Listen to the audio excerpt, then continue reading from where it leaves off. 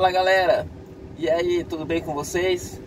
Olha só, tem muita gente que nos últimos dias aí, nos últimos meses, comprou uma Kia Bongo ou comprou uma HR e vai começar aí a trabalhar com carretos, com mudanças, vai agregar e vai entrar aí no transporte. Tem gente que nunca trabalhou com transporte, né? Vai começar agora. E aí esse vídeo é para você também que, que já tem seu carro aí já tá rodando, né? Afinal, conhecimento nunca é demais, né? Pessoal, e hoje eu quero falar sobre cinco dicas para você evitar uma frustração quando estiver no, na rua com seu carro trabalhando. Beleza? Vamos lá para a primeira, né? A primeira aí é o alternador. Olha só, hein? Dá uma olhada. Então eu vou mostrar aqui para você o alternador. Bom, aqui não vai dar para ver muito bem. Essas duas correias, essas duas correias aqui da polia da ventoinha estão conectadas na polia do alternador. Lá embaixo vai ser melhor para ver. Eu vou mostrar aqui para vocês. Olha só, aqui está o alternador. Esse aí é o alternador. Tá aí o danado. Bom, aqui para mim, como vocês sabem, eu peguei o caminhão zero e já tem 10 anos isso. É, esse alternador demorou 7 anos para dar problema a primeira vez. Primeira vez que deu problema aí, eu tinha rodado muito com ele já. Bom, aqui é o seguinte, só para me deixar claro aqui para quem tem essa dúvida, né? Uh, o painel está desligado. Olha só a minha quilometragem. 419 mil, já tá 420 daqui a pouco, hein? Tá, quando a gente liga a chave, aí ó, acende as luzes, né? Uh, aqui acende a luz da, da bateria. Então a gente vai dar partida, apagam todas as luzes. Então o primeiro indício de que o alternador não está carregando mais vai ser com o carro ligado, a luz da bateria vai ficar acesa, não vai apagar. Então a primeira suspeita aí é de que o alternador precisa de uma manutenção.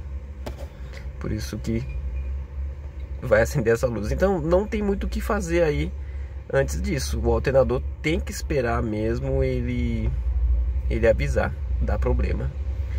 É, e quando isso acontece, precisa saber aonde vai levar o carro para fazer a manutenção. E por quê? Se você ficar andando com ele assim, com a luz acesa, ele está usando só a bateria do carro. Ele não está carregando. Só está usando a bateria. E uma hora ela vai acabar. Então você não vai conseguir dar partida mais. E talvez nem no tranco mais pegue, porque não vai ter bateria suficiente para isso, né? Assim que der problema, você precisa correr com o carro pro auto elétrico. Então, o que, que é legal de se fazer? Eu, pelo menos, fiz isso. Tem que ser um mecânico autoelétrico, porque o mecânico precisa sacar o alternador dali. Então, se você levar ele no autoelétrico que não faz isso, que não saca o alternador, você precisa levar o carro até o mecânico, o mecânico tem que tirar o alternador, entregar na sua mão e você levar até o eletricista. Então, o legal é você achar um mecânico eletricista, porque o mecânico mesmo ele já tira, já faz o reparo, coloca e testa novamente e vê se ficou bom. Assim você vai pagar só a mão de obra aí mesmo do, do auto elétrico, né? do conserto, do reparo, enfim. Agora, se você tiver que levar no mecânico, você vai ter que pagar para o mecânico tirar. Aí tem a, a, locomoção até o auto elétrico. Chega lá, paga o reparo do auto elétrico, volta, instala e tem que ver se, se ficou bom mesmo, porque passa óleo ali dentro do alternador. Então tem que ver se não ficou vazando, se ficou um serviço legal, bacana. Então não, não perca tempo. Já procura logo aí um, um, um mecânico eletricista e faça isso antes mesmo de dar problema no alternador porque se der problema do alternador, você já sabe onde tem que ir. Gente, lembrando só uma coisa: é, mecânico, autoelétrico, funileiro, é sempre bom, assim como qualquer serviço, né, qualquer prestação de serviço, é sempre bom indicação. Faça com alguém que foi indicado. A segunda dica que eu vou deixar aqui para vocês hoje é sobre a suspensão. É evidente que a suspensão da frente é que mais vai dar manutenção para você. Traseira nem tanto, mas a dianteira sim. Então o que, é legal de você ver aqui na suspensão. Por exemplo, bandeja. Essas bandejas aqui de cima, a de baixo acredito que nem tanto, mas as de cima costuma trincar. E aí você tem que estar de olho para que elas não quebrem e deixe vocês aí na mão. Ó, vou dar uma limpada aqui porque tá meio sujo, faz tempo que eu não lavo esse caminhão. Vou mostrar aqui para vocês uma coisa. Preciso dar uma lavada, mas tempo de chuva, né? Ah, o caminhão tava parado assim, do jeito que tá aqui, ó, esterçado assim, tá vendo? E aí, claro, tava limpo, né? Eu dei uma baixada aqui, eu sempre procuro trinca nas bandejas. E uma vez procurando encontrei. Tinha uma pequena trinca bem aqui, ó. Se vocês observarem, isso aqui é solda. Então eu levei até o mecânico lá. Então comentei com ele, vai ter que trocar essa bandeja, né? Aí ele, ele deu uma analisada e falou, não, não, não, tem necessidade. Porque o trinco foi bem pequeno mesmo. Falou, leva no, no, no rapaz que mexe com solda. Ele vai abrir uma cavidade um pouco maior aqui e vai soldar e vai acabar o problema. Então, beleza, realmente encerrou. Né? Eu sempre observei tanto essa conta do outro lado lá, nunca mais apareceu trinca. Isso aí depende muito de como, de como você conduz o carro também, né? É, o caminhão parece que ele, que ele é resistente, mas na verdade não é, né? Precisa de um certo cuidado aí para conduzir. Ah, então você precisa analisar isso aí. Sempre tá dando uma olhadinha quando você puder, né? Procura alguma, algum indício de trinca aí, porque ela não começa, ela não quebra do nada, né? Para quebrar é uma, uma trinca e ela vai se agravando, vai aumentando até que chega uma hora que ela quebra e aí você fica na mão, né? Você fica na, na, na estrada aí. Então qualquer estalo que, que acontece na, bande, na, na suspensão, você tem que estar tá atento. É, de repente está batendo, passando buraco está batendo, fazendo barulho, e aí você não perde tempo. Já tenta fazer a manutenção, leva no, no, no mecânico que mexe com suspensão para ele analisar e ver o que, que precisa ser trocado. Que nos, os próprios pivôs mesmo, né, da, das bandejas, tanto em cima aqui quanto, quanto os de baixo. Então se eles estão com folga, vão começar a bater, começar a fazer barulho. E aí, se você continuar andando assim, pode ser que ele solte aqui, né, que ele quebre ah, o cilindro que tem aqui do pivô e aí você acaba a roda acaba saindo aí da bandeja e você perde aí a, a direção do carro. São coisas que, que dá para evitar, porque o próprio carro avisa, tem alguma coisa errada. E aí não dá para ficar procrastinando essas coisas, né? Tem que fazer a manutenção ideal e aí você vai evitar uma frustração. Porque pode quebrar na rua, pode ser que você se envolva em um acidente, né? É, bata o veículo, enfim por conta aí de uma, de uma bandeja que, que quebrou, de um pivô que, que quebrou. Essa suspensão é bem simples, né? Pelo fato de não ter homocinética, já que a tração é traseira, não tem mola, não tem, tem batentes, mas tem aí os pivôs, bandejas, buchas, mas é uma coisa bem simples de você identificar ali algum problema, né? Gente, agora uma coisa que eu sempre tive cuidado é com o eixo cardan o eixo cardano é fundamental também no funcionamento do carro. A gente está rodando aqui conta do eixo cardano. Já deixei aqui um, um tapete para me apoiar. Enquanto eu mostro aqui para vocês. Tá aqui. Bom, o eixo cardan, uma coisa simples, né? O motor tá lá na frente. E aí a tração é das rodas traseiras aqui. E esse papel quem faz é o cardan o cardan é ligado nesse diferencial aqui. Dessa maneira aqui a, a tração fica na traseira. Diferente aí das, por exemplo, Ducato, né? As Masters, que elas não têm o eixo cardan. Então, o motor é lá na frente e a tração é lá na frente mesmo. Aqui não, aqui nós temos o eixo cardan e na minha opinião é a melhor coisa, né? Tem que ser tração traseira. Aqui, deixa eu ver se dá pra... Aí agora tá melhor, né? Aqui tem uma cruzeta, tem uma cruzeta aqui dentro e tem uma logo ali na frente também, tem uma cruzeta ali na frente. Essas cruzetas aqui, toda vez que eu troco óleo, no meu caso aqui a cada 5 mil quilômetros, elas são engraxadas. O próprio local lá, o pessoal que troca o óleo já engraxa, é tanto uma quanto a outra. E esse caminhão aqui, como vocês viram, tá com 419 mil quilômetros rodados. Esse eixo cardan aqui nunca foi mexido. Esse eixo cardan é, é original do carro, genuíno, tanto ele quanto as cruzetas.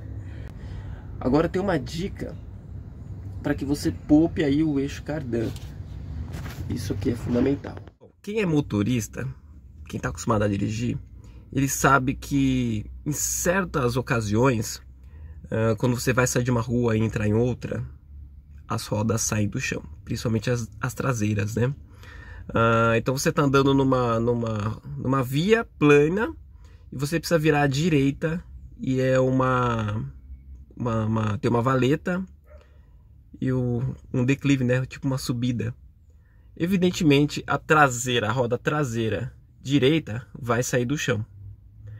Então, isso acontece muito com esses caminhãozinhos aqui, principalmente quando estão tão, tão leves, né? Ah, em algumas situações, se já aconteceu com você, se não aconteceu, ainda vai acontecer.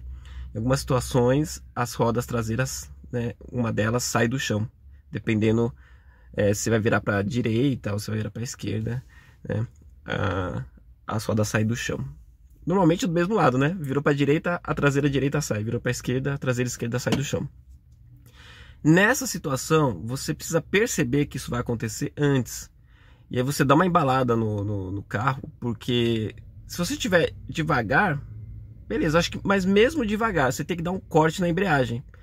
Porque quando ela levantar, ela vai continuar rodando, né, na tração. Aí você tem que cortar a embreagem até ela cair no chão de novo. Quando ela cair no chão, aí você solta a embreagem para continuar. Porque se ela cai, é, tipo, tracionado, né? Você continua só com o pé no acelerador aqui, ela saiu do chão e ela voltou de novo, quando ela bate, aquilo ali vai prejudicar, vai prejudicando as cruzetas e também o diferencial. Ah, porque dá um tranco, né? Então você imagina, o carro, a, a roda que está com a tração sai fora e aí ela continua rodando. Quando ela bate, ela trava e aí vai prejudicar as cruzetas. Isso daí é, é, necessário que você faça. Pelo menos eu fiz aqui e comigo deu certo, gente. Né? Eu, eu nunca tive dor de cabeça com o cardan, não. É, mas sempre me atento a isso. Isso aí eu ninguém me falou. Mas é, antes mesmo de ouvir alguém contando, eu já fazia isso. Mas como eu era agregado e tinha muitos caras que tinha caminhãozinho lá, é, um deles quebrou assim. Ele foi passar numa valeta e a roda saiu do chão. Quando voltou, quebrou. É, quebrou a cruzeta. E aí o, o, carro, onde quebrar, para. Onde quebrar é guincho, porque ele não anda mais, né? Ele às vezes começa a fazer barulho, enfim, mas ele pode quebrar mesmo de cair no chão, né?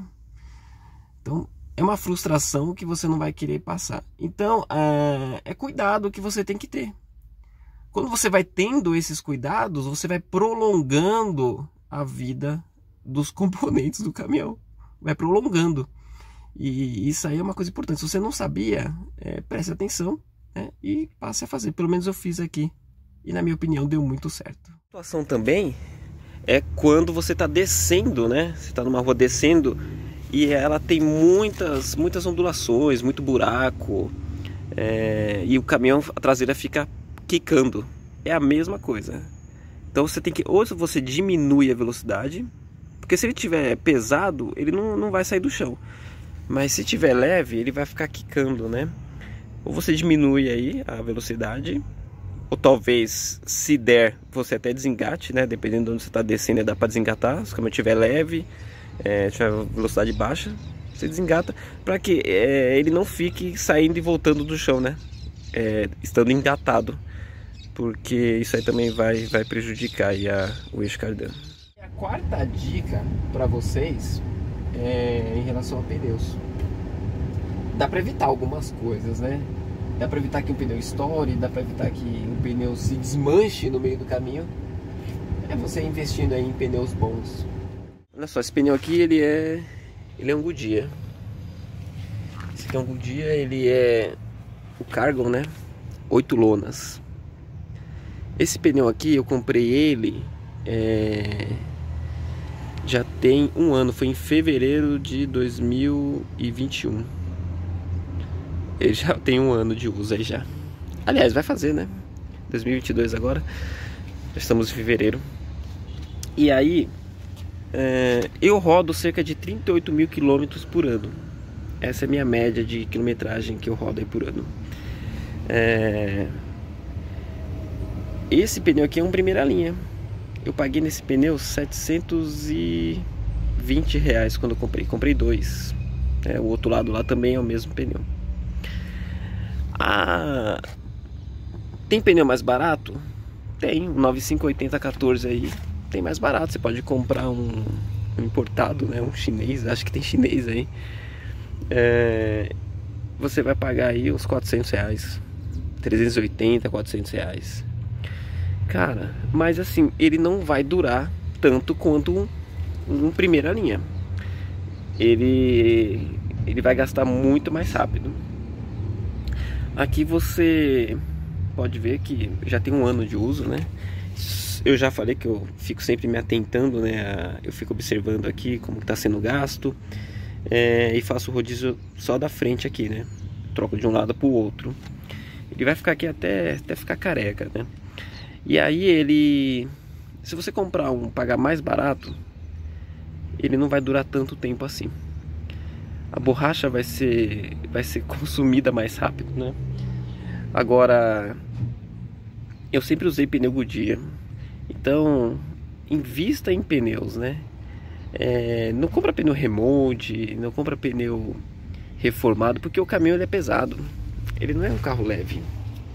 E aí você põe um pneu remote aqui, pode dar um problema, não que não seja bom, tem muito pneu remote de qualidade mas eu acho que é bom para carro, né? Para caminhão. É, caminhão ele não pode dar problema quando você está atendendo, né? O caminhão tá, tá carregado, aí você vai fazer um serviço aí, fura um pneu, você tem que trocar, tem que levantar o carro no macaco, aí às vezes está pesado, você perde tempo. É, então, se você coloca um pneu primeira linha aqui, esse tipo de problema você não tem. A coisa mais difícil que tem para mim aqui é furar um pneu. Muito difícil. Esse pneu aqui é um Continental eu precisei comprar e eu não achei o Goodyear. É muito difícil achar o 958014 Goodyear, não sei porquê. Eu acho que eu, eu acho que eles estão parando de fabricar esse modelo, né, a. Eu não sei, mas eu tenho muita dificuldade de encontrar. Eu não encontrei, eu tive que comprar um Continental. É, é a primeira vez que eu estou usando o Continental. Esse é, é novo também. Eu acho que eu comprei esse pneu em. Não sei, acho que foi em novembro, talvez. Tem preciso ver. Mas isso, gente, não, não, não fica com dó de investir em pneu, não. Invista em pneu de qualidade mesmo, de primeira linha. E aí você não vai ter problema, você vai poder andar. Você sabe que você tem, né? Então você vai pegar uma estrada aí, você, você vai poder andar tranquilo aí. É, 100 por hora, é, caminhão pesado, não. Mas você sabe que você tem um item de segurança ativo aqui é, de boa qualidade. A quinta dica, ela muito conhecida, né? A dica você tem que estar atento aí ao nível da água. Antes da primeira partida de manhã, você tem que verificar a água. E sempre no radiador. Olha aqui no radiador. Ver como é que tá a situação. Aí tem água. Fechou. O óleo. A vareta de óleo, eu sempre tiro ela por aqui. Consigo tirar ela numa boa por aqui. O óleo você pode ver a cada três dias o nível do óleo. É, você dá uma verificada. Mas a água é fundamental que você olhe todos os dias. Porque ele pode rachar aqui em cima, né? Com o tempo meu já rachou já. E a água começa a baixar, ou pode ter algum vazamento. E você não percebe, né? É, então você olha todos os dias. Meu carro aqui, meu caminhão já deu falta de água, né? Tava vazando, como eu falei, e ficou totalmente sem água. Então, é, eu estava em movimento e o acendeu a luz no painel ali. Deixa eu mostrar qual que é. é. Essa luz aqui, ó. Essa luzinha aqui é checar, né? Cheque, ó. Com o caminhão em movimento, o painel estava todo apagado, evidentemente, e essa luzinha acendeu. Quando ela acendeu, ele deu um corte no motor. Ele tipo, ele diminui, ele perde a, a força, mas Pra mim aqui, foi a hora que deu o corte, a hora que acendeu a luz, ele deu o corte eu já desliguei. Eu tava dentro da cidade, eu já desliguei e fui verificar a água porque eu sabia que estava vazando. Mas o que acontece? Ele, ele se agravou? Se agravou e vazou toda a água muito rápido. Então ele ficou sem água nenhuma. Então o caminhão deu um corte aí. É... Bom, não houve danos nenhum. Coloquei água de novo, né? O radiador foi trocado, é um radiador novo. É... Foi trocado. E aí o... sanou o problema. Então não tive mais essa, essa dificuldade aí com a água. Então o óleo você verifica também a cada três dias. A água você olha sempre aqui no radiador. E aí você olhou aqui no radiador, você olha lá o reservatório, como é que tá também, ver se tem água lá. Se você gostou dessas dicas, deixa aí seu like, se inscreva no canal e até a próxima.